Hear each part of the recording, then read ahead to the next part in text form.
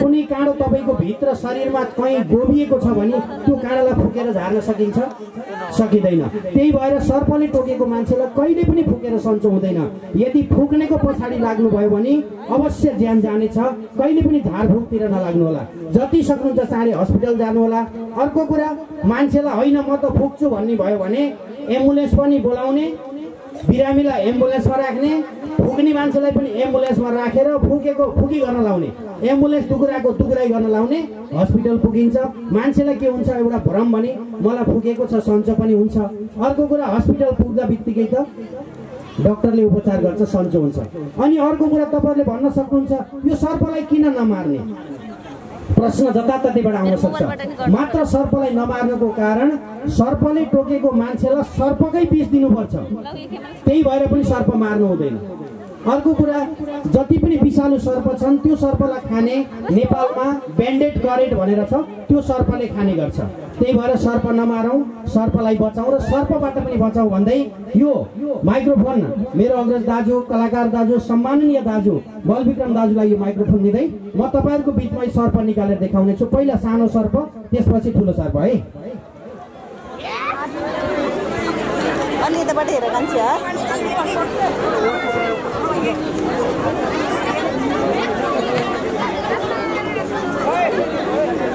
आउँछ है अनि पछाडि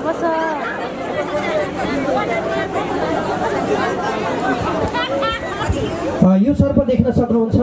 खैरो खैरो कलरमा छ बिचमा चेकहरू छन्। यस्तो सर्प भनेको अभिसालु सर्प हो यसको नाम अङ्ग्रेजी नाम चाहिँ उल्फ स्नेक नेपाली नाम चाहिँ चिचिन्ने भन्छौँ नि हामीले। चिचिन्ने सर्प। यसले टोकेर मान्छे कहिले पनि मरिँदैन। यो सर्प अभिसालु हो। एउटा घटना छ सि सिजीनिर एकजना त्रिहत्तर वर्षको आमालाई सर्पले टोकेछ। यही सर्पले टोकेपछि आमा बिहोस हुनुभयो मुखभरि झाग लिएर हर सरकारी हस्पिटल भरतपुरमा आउनुभयो। म राति बाह्र बजे पुगेँ। त्यहाँ पुग्दा आमा बिहोस हुनुहुन्थ्यो। सर्प कस्तो छ भनेको बोरामा लिएर आउनुभएको रहेछ। सर्प अभिसालु छ। मैले आमा यो सर्प अभिसालु हो यसले टोकेर मरिन्न भने तर आमा जाग्नु भएन होस पनि छैन। मैले के गरेँ यस्तै ग्लोभ्स लगाएर यो सर्पलाई हातमा जसरी यसले अघि मलाई टोकेको छ हेर्नुहोस् यस्तै गरेर टोकाएँ। टोकाइसकेपछि आमालाई हेर्नुहोस् मान्छे मर्ने भए मैले मेरो हातमा टोकाउँथेँ भनेपछि आमा जुरुक्क उठेर बाबु मरिन्न! भनेर भन्नु दुई घन्टासम्म बिहोस भएको मान्छे। त्यही भएर डरले के गर्दो रहेछ? हामीलाई खान्छ हामी भित्रै छ भूत। हामी भित्रै छ डरको मृत्यु। त्यही भएर डराउन हुँदैन भनेर म चाहिँ आग्रह गर्न चाहन्छु तपाईँहरूलाई।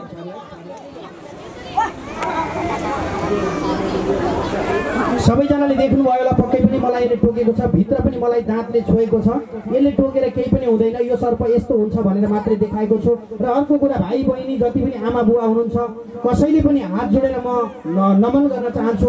कसैले मैले गरे जस्तै काम नगर्नु होला। किन भन्नुहुन्छ भने अङ्ग्रेजीमा एउटा भनाइ छ विषालु सर्प रहेछ भने वान मिस गेम फिनिस जीवन अनमोल छ मृत्यु हुन धेरै बेर लाग्दैन। एमलालले यो सर्प समाउँदो रहेछ म पनि समाउँछु खेला देखाउँछु भनेर कृपया कसैले नभनिदिनु होला मेरो हात जोडेर बिन्ती गर्छु। कसैले पनि त्यो कुरा नगर्नको लागि अनुरोध गर्न चाहन्छु भने यो सर्पलाई अब म डब्बाभित्र राख्छु। राखिसकेपछि तपाईँलाई ठुलो सर्प देखाउनेछु।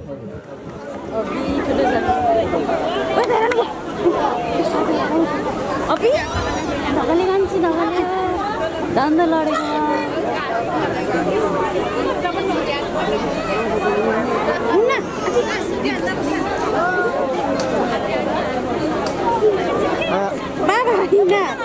हो हो अब तपाईँहरूको बिचमा चाहिँ कृपया चौतारातिर बसेको छुट्नु नि भयो। आउनु होला भगवान्को पनि दर्शन गर्नुपर्छ। सबैजनालाई यताबाट आइ आइ है मेरी आमै नि यति आइदिएको भए त हेर्न हुन्थ्यो गरे डाम्ना मेरी आमै नि हजुरआमा के आ गरेर हाँसे अहिले किरो पर्ला फेरि मुखानमा हाँस्नु कति नाम्री हुनुहुन्छ यो अहिले त यस्तै हुनुहुन्छ जवानीमा कति हुनुहुन्थ्यो होला है यसै उसमा एउटा हाम्रा युवा युवतीको लागि चाहिँ एउटा गजल है त सबैले वावा भन्नुपर्छ है मेरो भाइ जिन्दगी एक ठहरेको पानी रहेछ खै त वावा जिन्दगी एक छरछरेको पानी रहेछ फुलेको फुलमा जवानी रहेछ भर्खर भर्खर तरुणी हुनेहरूले चाहिँ वावा भनेको छ होइन?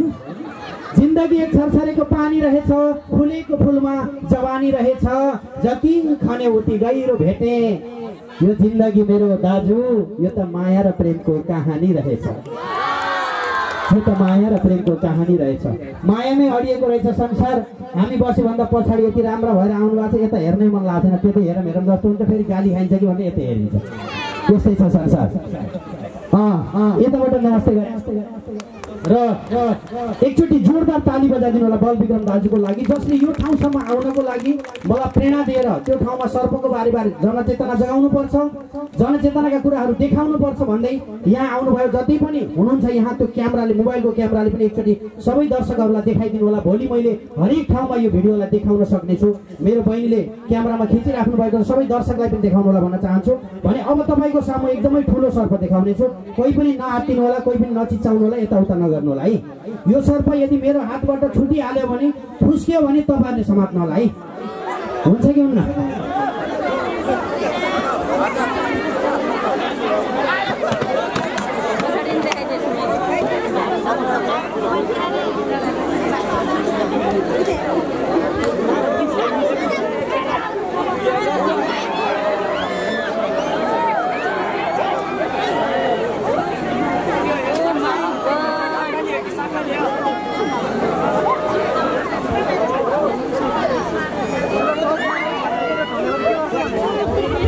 बाल दाजु एकचोटि यसो सुन्नुहुन्छ कि नदगर्नु होला कोही पनि यताउता नजानु होला है?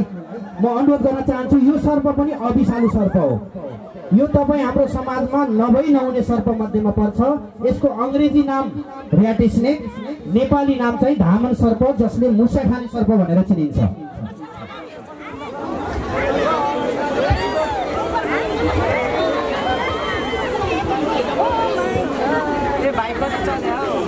कसैलाई हुनसक्छ? यो सर्प यसले जादु मन्त्र टुना मुना केही जानेको छ त्यही भएर गरेको छ भन्ने हुनसक्छ।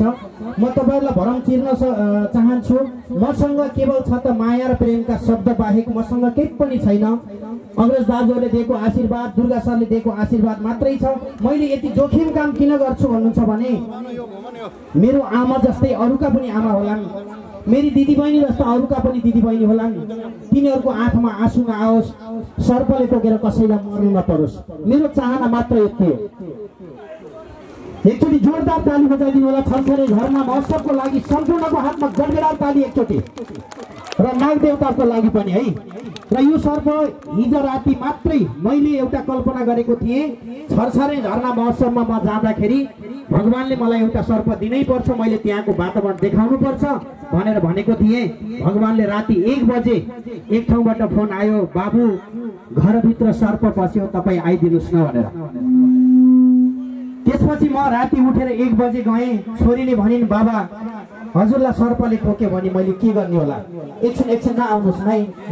यो खेलबाट होइन मैले अघि नैदेखि भनेको छु। मैले के भने भने छोरी तिमी जस्ता कति छोरी होलान् कति रोएका होलान् कति आमा रुनुभएको होला उहाँहरूको पनि त त्यस्तै आत्मा हुन्छ भनेपछि छोरीले भनिन् बाबा त्यसो भए म पनि जान्छु हिँड्नु समाज सेवा चाहिँ गर्नुपर्छ भनेर। एकचोटि जोरदार ताली बजाइदिनु होला। यी छोरीहरूमा यी बहिनीहरूमा आँट र जोस र जाँगर आओस् र भोलिको दिनमा म भन्न चाहन्छु जसले गित्ते नजर लगाउँछ छोरीमाथि तिनीहरूलाई यस्तै विषालु सर्पले टोकेर मर्नेछ। हाम्रा चेलीबेटीहरूको इज्जत सम्मान गर्न जसले सक्दैन त्यसले समाजमा रहनुको दायित्व पनि छैन। म त्यो पनि भन्न चाहन्छु। र यो सर्प भने अब म दुर्गा सरलाई एकचोटि छुनको लागि अनुरोध गर्न चाहन्छु।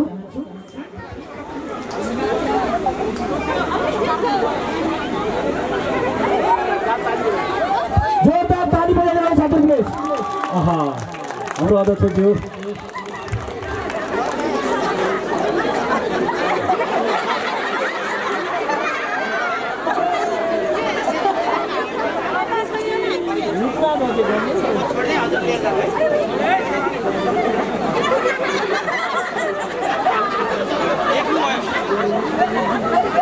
हजुरले देख्नुभयो प्रेम भनेको के हो त? यसलाई स्पर्श हुँदा बित्तिकै यसले टोक्न सक्थ्यो नि त। टोकेन। फेरि यो सर्पले टोक्दैन नभन्नु होला। यसले टोक्छ बिस मात्र नहुने हो। तिनचोटि म आफै टोकाइमा परिसकेँ। तर मलाई माया लाग्छ। यो एउटा समाजमा डाक्टरले काम गर्ने गर्छ यो सर्पले। यो सर्पको काम के भन्नुहुन्छ भने हाम्रो समाजमा जति पनि रोगहरू आउँछ धेरै जसो रोग मुसाको कारणले आउँछ। त्यही भएर मुसा खाने सर्प। अर्को किसानको लागि त यो भगवान बराबर हो। जति पनि खेतीपाती गरिन्छ खेतीपाती गर्ने क्रममा किसानले किसानले गरेको खेतलाई सबै जति पनि छ खेती खाइदिन्छ कसले? मुसाले। मुसालाई यसले खाने भएपछि के भयो त? मुसालाई खाइदिइसकेपछि हाम्रो खेतबारी बच्यो। हामीले खाना खाना उत्पादन गरेको धेरै वर्षसम्म खान सक्यो। हो कि होइन भन्नुहोस् त? हो नि? सबैजनाले एकचोटि जोरदार ताली बजाइदिनु होला। हेर्नुहोस्। आफै ठाडो हुन्छ होइन? त्यसले गर्दा विशेष धन्यवाद दिन चाहन्छु। अब धेरै समय म लिने छैन। हाम्रो बलविक्रम दाजुलाई पनि एकचोटि यो काँधमा सर्प राखिदिनेछु। दाइ डर त लाएको छैन। अब यो हजुरले लिएर घर जानुहोस् है। हुन्छ? ल दाइले चाहिँ दाइलाई एकचोटि सर्प समाउनु दिनेछु म।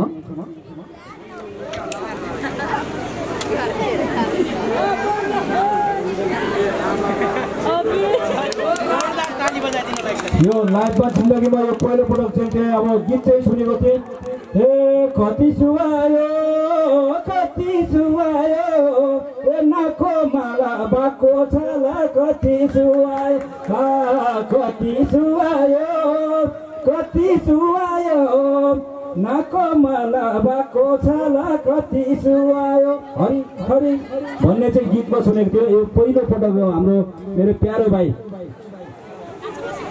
मेरो प्यारो भाइ यामलाल भण्डारीज्यूलाई धेरै धेरै धन्यवाद दिन चाहन्छु।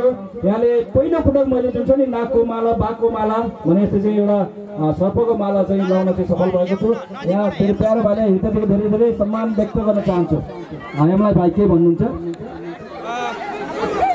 अब मैले केही पनि नभनिकन एकचोटि सबैजनाले नजिकबाट देखाउँछु। कोही पनि यताउता नजानु होला। म छोड्ने छैन यो सर्पलाई। तपाईँहरूको बिचमा देखाएको छु। यस्तो सर्प देखियो भने घर अगाडि कहिले पनि लोठीले भाटाले नहान्नु होला। यो भगवान बराबर छ यो सर्प। यसले कहिले पनि मानिसलाई कहिले पनि डर देखाउँदैन। डर मात्र देखाउँछ। टोक्दैन। यदि चापिएर अप्ठ्यारो परेर टोकिहाल्यो भने मात्रै यसको चाहिँ यसलाई अप्ठ्यारो पर्यो भने टोक्ने हो नत्र टोक्दैन। तर यस्तै सर्प अर्को गोमन हुनसक्छ गोमन सर्पको टाउको फिजारिएको हुन्छ। तपाईँले देख्नु भएको छ होला।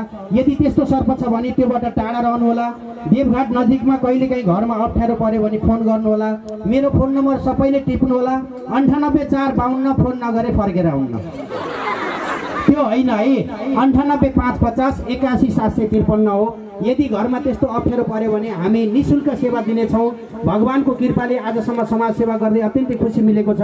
अब पनि मिल्नेछ भन्दै। अब धेरै कुराहरू नगरिकन एकचोटि तपाईँलाई सबैलाई देखाएँ।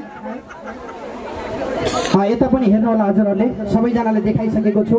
सर्पदेखि नडराउँ सर्पबाट पनि बचौँ है। म यही भन्दै जति पनि यहाँ अग्रज आमा बुबा दाजुभाइ दिदीबहिनीहरू आउनुभएको छ मैले बोल्दै गर्दाखेरि मेरा मुखार बिन्दुबाट केही गलत शब्दहरू निस्किएका छन् भने माफी चाहन्छु र आउने दिनहरूमा यो झरना महोत्सवलाई छरछरी झरनालाई अझ अगाडि बढाउनको लागि म कलाकारिता क्षेत्रबाट होस् सर्प संरक्षकको क्षेत्रबाट होस् जहाँबाट होस् म आफैले पनि अगाडि बढ्ने प्रतिबद्धता